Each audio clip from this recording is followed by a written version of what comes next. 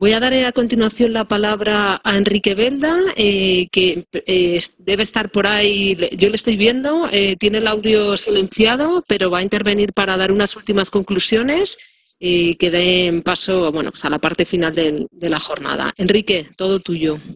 Muchas gracias, Elena. primero que nada, agradecer a la Asociación Española de la Carretera la magnífica organización de la jornada y, por supuesto, a todos los, todos los ponentes por la calidad y la claridad de sus exposiciones. Mira, después de escuchar todas las presentaciones, las diferentes presentaciones y ver todos los avances que, se han realizado a lo largo de estos últimos años, en el campo del vehículo yo veo cada vez más necesaria la acción.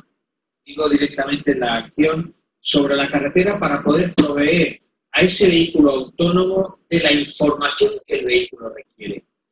Y mirad, en este campo en el que yo me muevo ahora, eh, es el centro tecnológico donde estamos ahora haciendo, pues es fabricando soluciones para soluciones tecnológicas para las fuerzas y cuerpos de seguridad del Estado en materia de seguridad, incluida la seguridad vial, siempre hay una máxima y es que no podemos hacer nada sin tener en cuenta el criterio de ese usuario.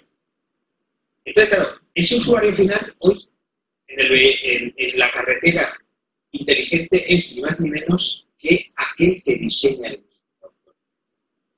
Y aquel que diseña el vehículo autónomo se tiene que definir cuáles son los requerimientos que necesita de la carretera, requerimientos tecnológicos, para poder incorporarlos poco a. Hay que concretar qué necesidades tenemos. Y por supuesto hay que comenzar a definir, decía Alfredo, esa clasificación de carreteras hay que establecer esa normativa básica que nos permita eh, arrancar y, por supuesto, definir unos corredores sobre los que, iniciar esta implantación de la tecnología.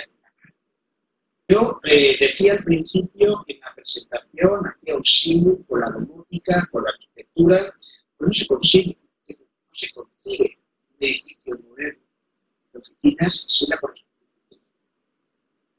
yo os puedo decir que desde el punto de vista de la infraestructura ha cambiado totalmente cómo se La carretera necesita recibir esos avances. El vehículo ha avanzado mucho. El ser humano cada vez más eh, está, eh, está pendiente de todos los avances, sobre todo en la capacidad para recibir información dentro del ámbito de la movilidad.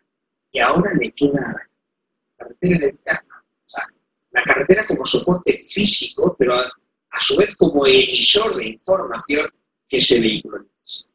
Yo creo que he intentado de alguna manera subir todas y cada una de las partes, presentaciones, y deciros que eh, os invito a seguir trabajando porque esto no ha hecho más que empezar.